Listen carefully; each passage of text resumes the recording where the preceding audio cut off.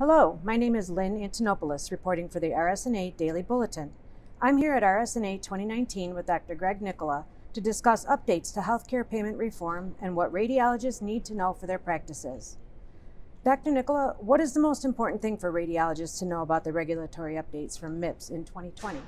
Well, Lynn, the most important thing is that the program continues to escalate in its stakes and its difficulty.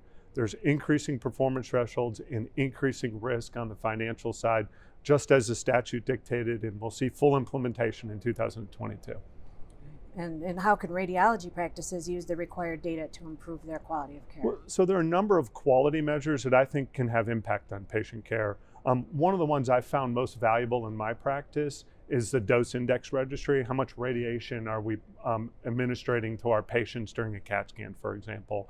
Um, the American College of Radiology has a dose index registry where you can benchmark um, very similar types of modalities and exams on how well you're and how low you can reduce your radiation dose without um, sacrificing quality. We have used this in an iterative process um, with PDSA type cycle improvement in my practice and, and pretty much lowered our radiation dose to our patients to below the 25th percentile. And I think that's a really valuable service we're providing to the population of our patients in our area. And what is the top strategy for maximizing performance in MIPS? Well, the thing about MIPS that is difficult is that we're under constant stress for our measures being removed. There's a number of reasons they're removed, but the most common is that people get really good at them and Medicare can no longer differentiate who's good and who's not because everyone gets clustered around a high number.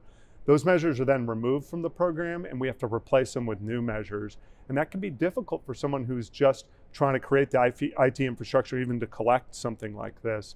Um, we have a number of measures that we release as preliminary. They're not quite part of the program yet, but we're testing them. I suggest that members uh, uh, that are radiologists who can find these measures on the ACR website or even on the CMS website look at the measures and start implementing them in your practice as soon as possible so you can get good at them and replace measures that are being removed as the program matures.